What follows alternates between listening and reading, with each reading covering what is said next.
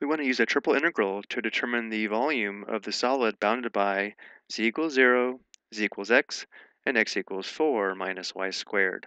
Let's first look at this graphically. So the graph of z equals 0 is the yellow plane, the graph of z equals x is the blue plane, and the graph of x equals 4 minus y squared is this green cylinder. Notice how the bounded solid would be this solid here. Notice how it's bounded below by z equals 0 and above by the blue plane, z equals x. We can also determine the xy trace by looking down on the xy plane. Notice how the xy trace would be the area bounded by the parabola here and this line here. Again, our goal is to find the volume of the solid of this region here.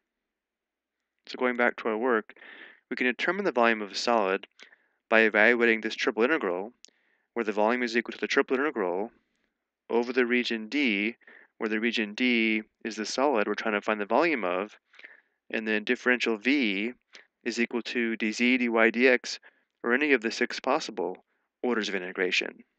So again, we're going to find the volume by setting up the triple integral over the region D. Notice how the integrand function would be 1. Let's include 1, and then we have differential V. So in our case, we're going to have the volume. And now we need to decide on the order of integration. Let's first integrate with respect to z, then with respect to x, then with respect to y. And I'll explain in a moment why we're integrating with respect to x first, and then y. But let's first determine the limits of integration for z. Looking at our equations here, the solid is bounded below by z equals 0 and bounded above by z equals x. Again, looking at this graphically, from this view we can see the solid is bounded below by the yellow plane and above by the blue plane, where we have z equals 0 here and z equals x here. So these will be the limits of integration for z. We'll have from 0 to x.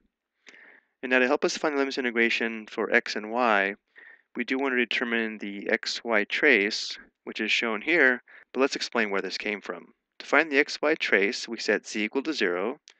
So looking at our equations again, notice how if z is 0, we'd have the equation x equals 0 here. And here we have the equation x equals 4 minus y squared. So here's x equals 0, and here's the graph of x equals 4 minus y squared. So this area here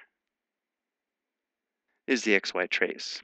And this is the reason why we're integrating with respect to x first and then y.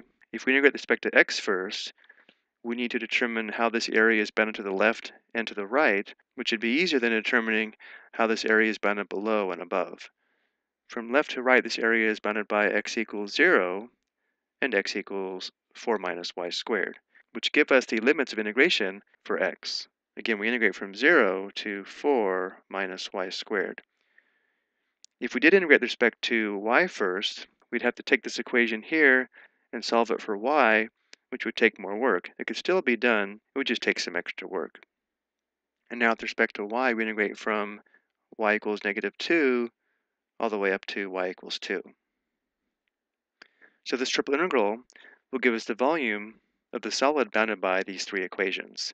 Let's evaluate this on the next slide. So we first integrate with respect to z, which will give us a double integral. The antiderivative is just going to be z. And the limits of integration with respect to z were from 0 to x. So big F of b minus big F of a is just going to be x minus 0. Where the integrand function is now just x, and we have dx dy. So now we integrate with respect to x, which would just give us x squared divided by 2, or 1 half x squared. And now we need to determine big F of b minus big F of a. So we're going to have 1 half times big F of b would be the quantity 4 minus y squared squared, and then minus big F of a is just going to be 0 squared.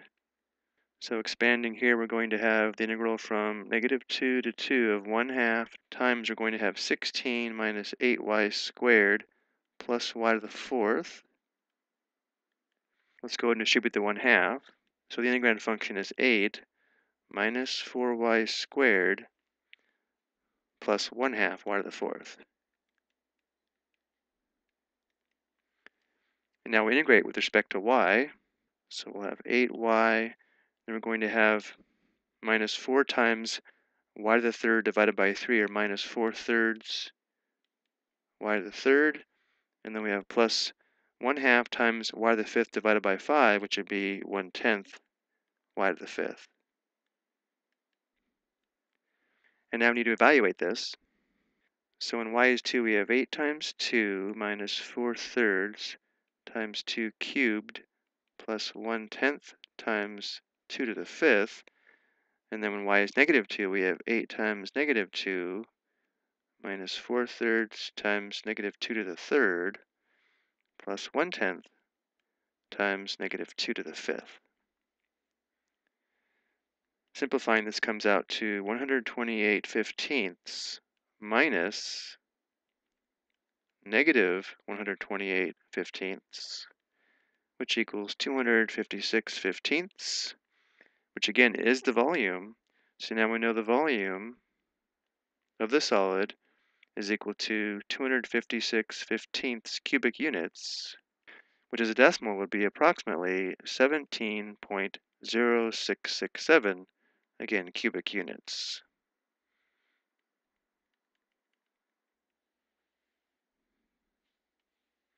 Which again would be the volume of this bounded solid region here. I hope you found this helpful.